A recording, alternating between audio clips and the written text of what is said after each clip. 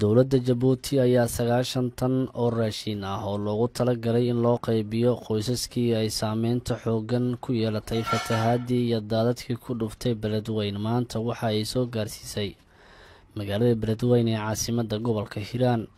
Raashinkan ayaa ka koobnaa bur beri sokor timir iyo khudaar waxaana si gaar ah gurmadkan uu uga yimid ciidamada jabuuti korneyl maxamed barkad oo hogaaminaya wafdiga loo soo wakiishay in gurmadkan raashiinka ah beledweyn ay maanta soo gaarsiiyaan ayaa kulan la qaatay madaxweynaha dowlad goboleedka hirshabeelle maxamed cabdi waare gudoomiyaha maamulka gobolka hiiraan cali jayti cismaan iyo wasiiro ka mida hirshabeelle.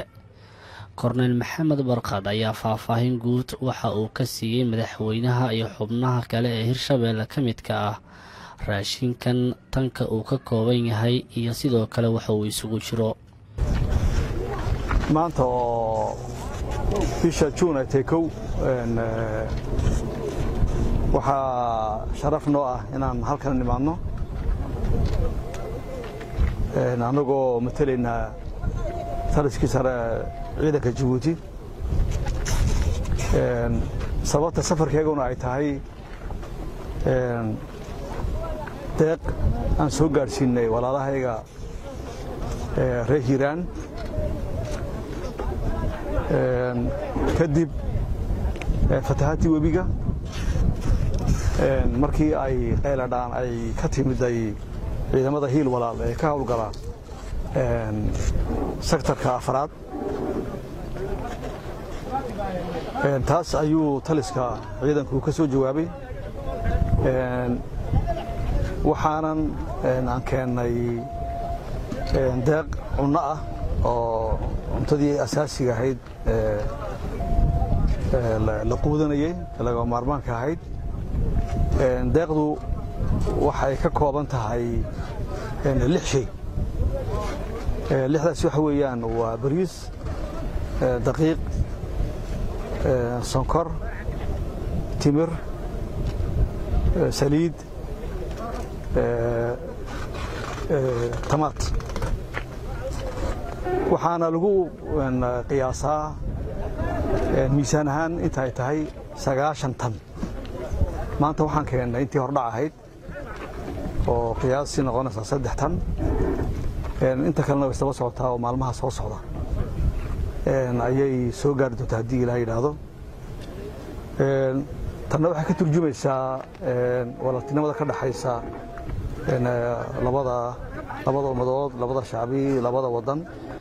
Gudoomiyaha maamulka gobolka hiiraan ee hirshabeelle cali jayti cismaan ayaa mahadcelinta ciidamada dowladda iyo shacabka jabuuti kadib waxa uu madaxweynaha jamhuuriyadda jabuuti mudane ismaaciil cumar geelle si gaar ah uu kaga codsaday in dadka reer beledweyne uu ka saaciido agabka dhismaha si fatahaadda soo noqnoqotay ee beledweyn ku dhufata looga weeciyo dhammaan shacabka reer jabuuti iyo hay'adooda kala duwanba waan salaamaynaa. Waanan u mahad celinaynaa deeqda ay noo soo dhiibeen. Tii u horraysana aan ahayn. Tii labaadna aan ahayn tii saddexaadna aan ahayn. Oo intaaba ay ka badnayd. Korneyl maxamed barkad waa kaa guddoomiyey anoo wakiil ka ah shacabka reer hiiraan. Deeqdii aad ugu keenteen ee aad ugu soo deeqdeen waa kaa guddoomey qaybtii u horraysay maanta ka codsan mayno dowladda reer jabuuti iyo madaxweyne ismaaciil cumar geele midna lacag ka codsan mayno. Laakiin waxaan codsanaynaa birta culus. Birta culusaan codsanaynaa. Waxaan dowladda jabuuti oo ugu horreeyey madaxweynaha ismaaciil cumar geele ismaaciil cumar madaxweyne ismaaciil cumar geele wuu noo hiili jiray. Waad noo hiili jirtay maanta noo hiili jeeb wax galaa heddad waa diloodeen. Wax musqul la geeyana waxba waa noqon waaye. Waxaan u baahannaha agabka birta culus. Sida katarabiilka sida maxaa la yidhahda bogolaynta ta wax lagu qodo laakiin qalabka birta culus ee lagu wajihi karo biyo-xidheenka in lagaga hor tago arrinkaasaan codsanaynaa. Madaxweynaha dowlad goboleedka hirshabeelle doctor maxamed cabdi waare ayaa sheegay in ciidamada jabuuti ay hiil walaal ee gobolka hiiraan jooga ay shaqadoodii amniga markii laga yimaado inay qabtaan ay ku darsadeen caawinta dadka reer beledweyne xilliyada musiibooyinka dabiiciga ah ay gobolkan ka dhacaan wuxuuna kaga mahad celiyey madaxweynaha ciidamada iyo shacabka reer jabuuti gurmadkan maanta ay beledweyn soo gaarsiiyeen. Wafdiga sharafta leh oo nooga yimid dowladda aan walaalaha nahay jabuuti soo dhowaada. Waxaan u mahad celinaynaa madaxweynaha jabuuti shacabka jabuuti taliyayaasha iyo wasiirada difaaca. Runtii hawsha maanta aad u timideen oo dhexalgalka ciidamada hiil walaal oo ka shaqeeya degaankan